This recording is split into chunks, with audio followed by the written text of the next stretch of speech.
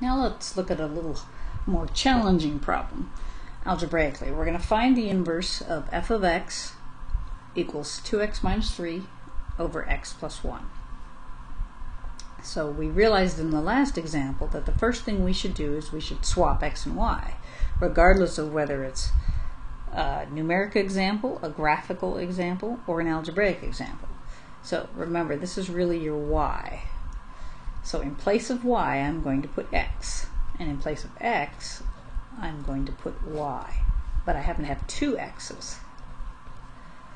So my goal is to get these two copies of y together and by themselves so that I end up with y equals and everything else on the other side. And when I do that, I will end up with the inverse. So the first thing I need to do is get rid of the variables in the bottom. So I'm going to multiply both sides by y plus 1.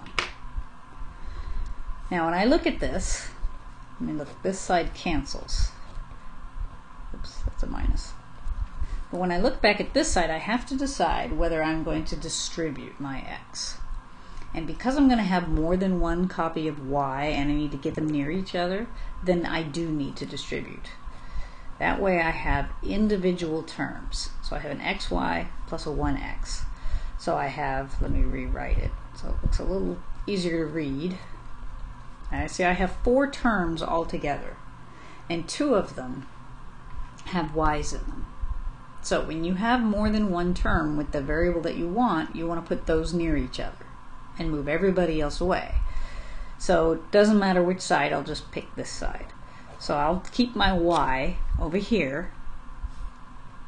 Okay, so this x doesn't have one, so I'll move it over there. And then I'm just moving across, so my 2y, I want it back on this side. And then I'll keep my negative 3. So again, let's look at that. My xy stayed where it was. This x moved to the other side. This 2y came over here to this side, and then this negative 3 stayed. Because again, my goal was to rearrange it so that I have all my y's on one side and everybody that doesn't have a y on the other side. So, now I will factor out the y, get an x minus 2 here, equals negative x minus 3.